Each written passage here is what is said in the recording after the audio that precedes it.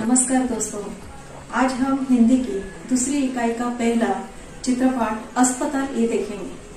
हमें कौन सी भी बीमारी हो तो हम अस्पताल में जाते हैं, डॉक्टर के पास जाते हैं। अस्पताल में हमारे जब रिश्तेदार, दोस्त, नज़दीक वाले एडमिट रहते हैं तो हम उनसे मिलने जाते हैं। तो आपने कभी अस्पताल का निरीक्षण किया है क्या? नहीं किया है तो आज हम अस्पताल इस चित्रपाठ का वर्णन करेंगे। अस्पताल में कुछ लोग कुर्सी पर बैठे दिखाई दे रहे हैं। शायद वे लोग अपनी बारी की प्रतीक्षा कर रहे हैं।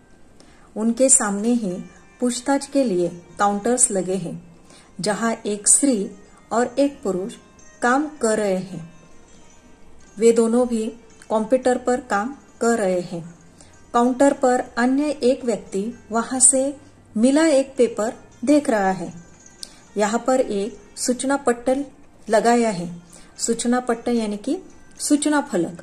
और उस पे लिखा है, शांति बनाए रखें। उसके पीछे एक नर्स, एक महिला को व्हीलचेयर पर लाते दिखाई दे रही है। महिला के पैर पर प्लास्टर बंधा है। यहाँ आप देख सकते हैं, यहाँ पैर पर प्लास्टर बंधा हुआ है। और नर्स अस्पताल के यूनिफॉर्म में है। नर्स नर्स यानी कि परिचारिका। नर्स के पीछे ही एक वार्ड है। वार्ड के ऊपर लिखा हुआ है आईसीयू आईसीयू यानी कि अति दक्षता विभाग इंटेसिव केयर यूनिट इसके पास दीवार पर दो सूचना पट्ट लगाए हैं, जिन पर लिखा है, नेत्रदान और रक्तदान महादान। यहाँ आप देख रहे हैं, यहाँ पर नेत्रदान और रक्तदान महादान, ऐसे दोन बोर्ड लगाए हुए हैं। इस दीवार के पास ही एक वार्ड है। यहाँ पर हम देख सकते हैं वार्ड। इसमें से एक वार्ड बॉय बाहर निकलता दिखाई दे रहा है। वार्ड के ऊपर भी सूचना लिखी है, रोगी से अधिक बातें न करे।